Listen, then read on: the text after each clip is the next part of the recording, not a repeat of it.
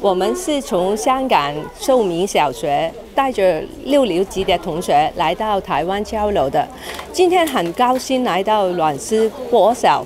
我一进来的时候，我觉得很有爱啊。来自香港秀明小学的师生一到达校园，就感受到暖溪国小师生浓厚的人情味。这次两校进行阅读之旅的交流，暖溪国小派出学生担任导览员。引导秀明小学的师生参观藏书丰富的暖溪图书馆。香港秀明小学的同学，大家好，这里就是我们暖溪国小的图书馆。我们学校正在办理新书特展，这一次学校总共买进了两百多本的新书。那么展期为一个月，我们今天就以这个主题来进行交流。今年呢，是我们第三次。呃，用阅读的主题到呃台湾交流，因为呢，我们觉得台湾的呃图书绘本的教学，还有它的穿着也很好，也很棒。我们呢，在学校，我们的学校也很注重绘绘本的教学，从一到六六年级，我们都呃会有呃绘本加入我们的课程。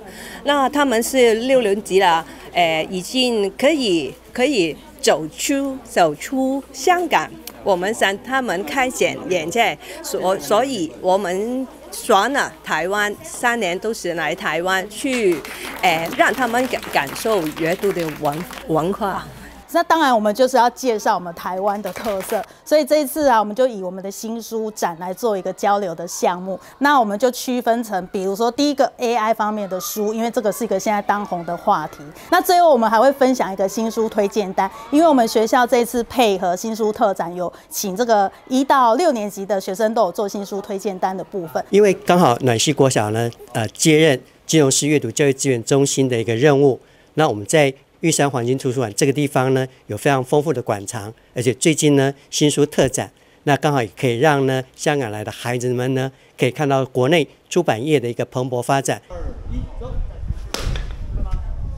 两校以阅读之旅为主题，充分进行交流之外，接着也在暖溪棒球队学生的指导下进行棒球初体验，觉得挺好的。我第一第一次玩的时候有点紧张，就有可能会打错什么的，就所有就不敢用力这么打。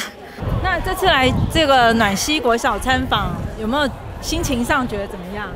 觉得挺好的，因为因为我觉得这间。这间学校给人感觉挺好的，他们很很开朗，就可以好轻松的交朋友。因为我是我是不太会善于讲话的嘛，我嗯很开心，呃，因为这里很多设施都不一样。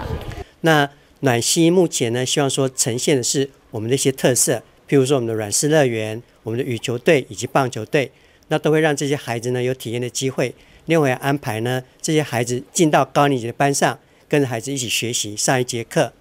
那希望说他们今呃这一次的那个阅读之旅呢，能够丰收。透过各种动静态活动，两校师生进行深度的互动交流，也让来自香港秀明小学的师生对于暖溪国小的校园特色及基隆浓厚的人情味留下了深刻的印象。记者黄日升、陈淑平，基隆报道。